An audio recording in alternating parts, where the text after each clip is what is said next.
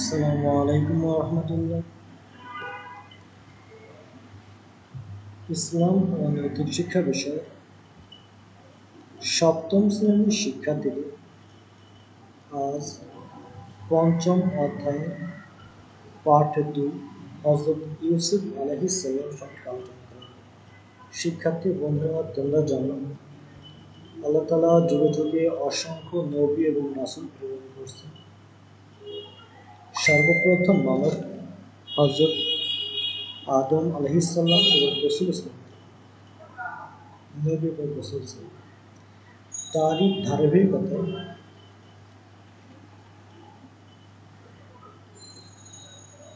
ইয়াকুব আলাইসাল্লামের একাদশতম পুত্র হজরত ইয়াক ইসুফ আলাইসাল্লাম ইসুফ আলাইসাল্লাম এর পিতার নাম ইয়াকুব, মাতার নাম রাহিনা বিনতে লাবন তিনি ইয়াকুব আলাইসাল্লামের একাদশতম পুত্র ছিলেন। খ্রিস্টপূর্ব উনিশশো সাতাশ থেকে আঠারোশো সতেরো এর মধ্যে জন্মগ্রহণ করেন। খ্রিস্টপূর্ব উনিশশো সাতাশ থেকে আঠারোশো সতেরো এর মধ্যে জন্মগ্রহণ করেন। তিনি কেরানের অধিবাসী ছিলেন।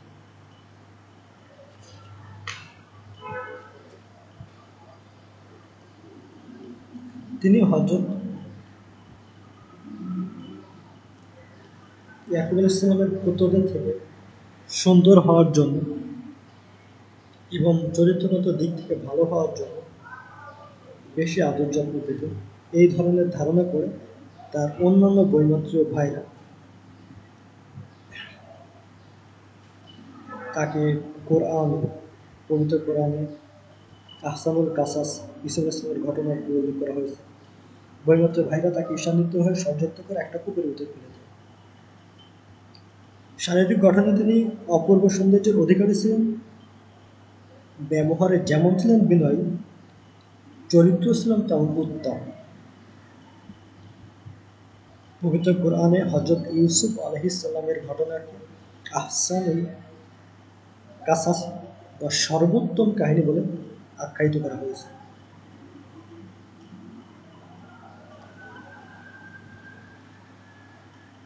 হজরত ইউসুফ আলাইসাল্লামের একমাত্র সহোদর বিন ইয়ামিন ব্যতীত অন্যান্য বৈমাত্র ভাইয়েরা তার প্রতি খুবই ঈর্ষান্বিত হয়, তার পিতা কেন তাকে আদর করে? তারা তার ব্যাপারে ষড়যন্ত্রে লিপ্ত হয়। পিতা ইয়াকুব আল ইসলামের অনুমতি নিয়ে তারা একদিন খেলার কথা বলে নির্জন একটা মাঠে নিয়ে যায়, আর সেখানে অনেক মারধর করে গভীর একটা কূপের ভিতরে ফেলে দেয়। বাড়িতে এসে পিতাকে বলে, আমরা যখন খেলাধুলা করছিলাম ঠিক তখনই একটা বাঘ এসে ইউসুফকে ধরে নিয়েছে এবং খেয়ে ফেলে দেখুন সে রক্ত তো জামা কাপড় ইয়াবুল ইসলাম তাদের কথায় বিশ্বাস করলেন বরং মর্মাহত হলেন। তিনি ক্রোধ প্রকাশ না করে ধৈর্য ধারণ করে বললেন, ধৈর্যই শ্রেয়। তোমরা যা বলছো সে বিষয়ে একমাত্র আল্লাহ আমার আশ্রয়। বা সাহায্য স্থল। সুরা ইউসুফ, আয়াত নম্বর আঠারো। দাস হিসেবে বিক্রয় একদল বণিক ব্যবসায়ী দল ওই কূপের দিয়ে যাচ্ছিল। তাদের যখন পানির প্রয়োজন হলো, তারা কূপের ভিতরে বালতি ফেলে এবং বালতির রশি ধরে ইউসুফ আলহিসাল্লাম উপরে উঠে আসে। ইউসুফ আলাইসাল্লামকে দেখে তারা খুবই অবাক হয়েছে কি সুখবর? এ যে কিশোর অতপর তারা পূর্ণরূপে তাকে লুকিয়ে রাখে। ইসুফ আসলামকে মিশরে? আফ্রিকার একটা দেশের নাম মিশর। মিশরের দাস হিসেবে বিক্রি করে দেয়। মিশরের শাসক ছিল তখন আজিজ। স্বল্প মূল্যে মাত্র কয়েক দীর্হাম এর মূল্যে করাই করে নেন হজরত ইসুফ আল ইসলামের সৌন্দর্যে মুগ্ধ হয়ে তাকে পুত্রের মতো ভালোবাসতে থাকে। হজরত ইসুফ আল ইসলাম যুবক বয়সে শিক্ষার্থী বন্ধুরা, তোমার তোমরা জেনে থাকবে, ইউসুফ জোলেখ আব্দুল আজিজ যে ব্যক্তি ছিল, শাসক ছিল, তার বিভিন্ন নাম ছিল জোলেখা। ইউসুফ আল ইসলামের রূপে মুগ্ধ হন এবং এখানে বিভিন্ন ঘটনার সমন্বয় ঘটে। আর মিথ্যা অপবাদের দায় ইউসুফ আলহ ইসলামকে কারাবরণ করতে হয়। শিক্ষার্থী বন্ধুরা, তোমাদের একটু জেনে রাখার দরকার। বিবি জলেখার ইচ্ছা ছিল ইসুফ আলাহিসাল্লামের সাথে খারাপ কাজ করার জন্য। যার জন্য তাকে এমন একটা ঘরে নিয়ে যায়, যেখানে অনেকগুলো দরজা, প্রতিটি দরজায় হজরত ইউসুফ আলহিসাল্লাম বন্ধ করে যায় তালাবদ্ধ করে যায় সর্বশেষ যে গৃহে নিয়ে যায়, ওই গৃহে নিয়ে যে নিজেকে বিলে দেওয়ার জন্য ইসুফ আল্লাহর সামনে পেশ করে। ইসুফ আলাইসাল্লাম আল্লাহর নবী হওয়ার কারণে তিনি আল্লাহর নাম নিয়ে যখন ঘর থেকে বের হন, প্রতিটি দরজা আল্লাহ তালার নামে খুলে যায় এবং তার দরজা মুক্ত হয়। কোনো ব্যক্তি যদি কোনো ঝামেলায় পড়ে, তাহলে তার জন্য উত্তম বা উচিত হবে, সেজন্য আল্লাহ তালার দরবারে সাহায্য প্রার্থনা করে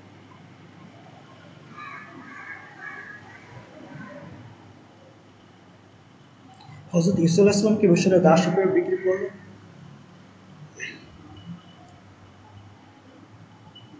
আল্লাহ তালা তাকে অসাধারণ মেধা, বুদ্ধিমত্তার দিয়েছিলেন। তিনি স্বপ্নের ভালো ব্যাখ্যা করতে পারতেন। স্বপ্নের ব্যাখ্যার মাধ্যমে তিনি কারা বা বন্দি জীবন থেকে মুক্ত হন। একদিন মিশরের বাদশার স্বপ্নে দেখলেন, সাতটি সুস্থ, সবল গাভীকে, সাতটি দুর্বল গাভী খেয়ে ফেলছে। তিনি আরও দেখেন, সাতটি সবুজ শস্য শেষ সাতটি শুষ্ক শেষ এর স্বপ্নের ব্যাখ্যার জন্য রাজদরবারে জ্ঞানী গুণী পণ্ডিতদের তিনি ডাকতে থাকেন, কিন্তু কারোর উত্তরে জবাবে তার মনোপত হয় না। বাদশাহ খবর পেলেন, কারাগারে এক যুবক আছেন যিনি স্বপ্নের ভালো ব্যাখ্যা করতে পারেন।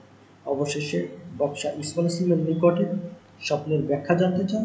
স্বপ্নের ব্যাখ্যায় ইসমাল ইসলাম বলেন দেশে সাত বছর প্রচুর শস্য উৎপন্ন হবে। আর পরবর্তী সাত বছর একটা ভীষণ দুর্ভিক্ষ হবে। সাথে সাথে তিনি দুর্ভিক্ষ থেকে পরিত্রাণ পাওয়ার উপায়ও বলে দিলেন। বাদশাহ এই ব্যাখ্যা শুনে অত্যন্ত মনোভূত হন আনন্দিত হন ফলে ইসুফ আলাইসলামের বিরুদ্ধে আনিত সকল অভিযোগ তুলে নেন এবং তার কারাগার থেকে মুক্ত করে দেন শুধু মুক্ত করিয়ে দেন তা নয়, তাকে মন্ত্রিত্ব পদ দেন অর্থমন্ত্রীর পদ। স্বপ্নের ব্যাখ্যা অনুযায়ী প্রথম সাত বছর প্রচুর খাদ্যশস্য উৎপন্ন হয়, পরবর্তী সাত বছর ফলন না হয় মিশনে দুর্ভিক্ষ দেখা দেয়। অভাবের তাড়নায় ইসুফ আল ইসলামের ভাইরা তিনবার খাদ্যশস্য সংগ্রহের জন্য রাজ দরবারে আসে। প্রথমবারে হজরত ইসুফ আল ইসলাম তাদের চিনে ফেলেন। কিন্তু তিনি তাদের নিকট নিজের পরিচয় প্রকাশ করেন তবে মানবিক কারণে প্রত্যেকবারই তাদেরকে যথেষ্ট পরিমাণ খাদ্যশস্য বরাদ্দ দেন দ্বিতীয়বারে কৌশলে আপন সহদর বিন ইয়ামিনকে আটকে রাখেন। শিক্ষার্থী বন্ধুদের এখানে একটা মজার ঘটনা আছে। প্রথমবার যখন তার ভাইরা খাদ্যশস্য নিতে আসে, তারা বলে, দ্বিতীয়বার যদি খাদ্যশস্য পেতে চাও, তোমার আর এক যে ভাই আছে বিনিয়ামিন তাকে অবশ্যই সঙ্গে করে আনতে হবে। তাছাড়া কখনোই তাদেরকে খাদ্যশস্য দেওয়া হবে না। দ্বিতীয়বারে যখন তারা আসে, খাদ্যশস্য যখন তারা নিয়ে যাবে এই অবস্থায় ইউসুফ আলাইসাল্লাম একটা বস্তার ভিতরে রাজদরবারে কিছু জিনিস রেখে দেবে এই অবস্থায় যখন তাদেরকে খাদ্যশস্য দিয়ে দেওয়া হবে, এই মুহূর্তে রাজদরবার থেকে কথা আসে, তাদের যে বস্তার ভিতরে খাদ্যশস্য দেওয়া হয়েছে ওর ভিতরে রাজদরবারের কিছু জিনিস রয়ে গেছে। যখন খাদ্যশস্যের বস্তা দেখা হয় দেখা হয় বাস্তবিকই তাদের বস্তার ভিতরে জিনিস রয়েছে কৌশলে ইউসুফ আলাইসাল্লাম তার আপন ভাই বিনিয়ামিনকে সাথে রেখে দেন এবং নিজের পরিচয় প্রকাশ করেন। দ্বিতীয়বার নিজের পরিচয় প্রদান করেন এবং পিতার পরিবারের লোকজনকে রাজদরবারে আমন্ত্রণ জানান। তখন ভ্রাতগণ ভাইগণ নিজের ভুল বুঝতে পেরে ইউসুফ আলাইসাল্লামের নিকট ক্ষমা প্রার্থনা করে এবং বলেন, আল্লাহর শপথ, আল্লাহ নিশ্চয় তোমাকে আমাদের উপর প্রাধান্য দিয়েছে এবং আমরা অপরাধী ছিলাম। আল্লাহ তালা সুরাই ইউসুফ আয় একানব্বই ঘটনাটা বর্ণনা করেছে ইসুফ ইসলাম তাদের ক্ষমা করে দিলেন। আজ তোমাদের বিরুদ্ধে কোনো অভিযোগ নেই। আল্লাহ তোমাদের ক্ষমা করুন এবং তিনি শ্রেষ্ঠ দয়ালু। সুরাই ইউসুফ আয়াত নম্বর বিরানব্বই।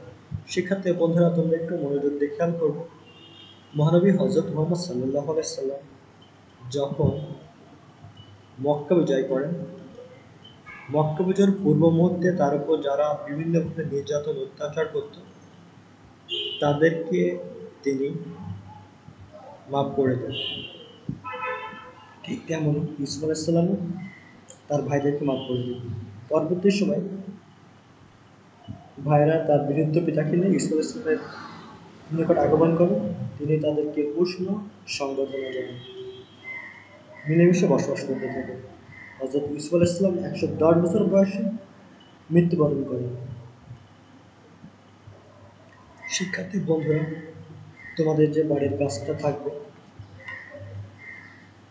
সেটা হলো ইউসুফ আলাইসাল্লামের পরিচয় দাও। ইউসুফ আলাইসাল্লামের পরিচয় দাও। দ্বিতীয় প্রশ্ন থাকবে। স্বপ্নের আল ইসলামের স্বপ্নের ব্যাখ্যার বিবরণ। আল ইসলামের স্বপ্নের ব্যাখ্যার বিবরণ। শিক্ষার্থী বোধের মাত্র দুইটা প্রশ্ন। দুইটা পুরো, প্রশ্নের উত্তর অবশ্যই খাতায় লিখবে খুব সুন্দর করে। তারপর ছবি তুলে আমার ইনবক্সে পাঠাবে। আল্লাহ হাফেজ। সবার সুস্থতা এবং মঙ্গল কামনা করছি।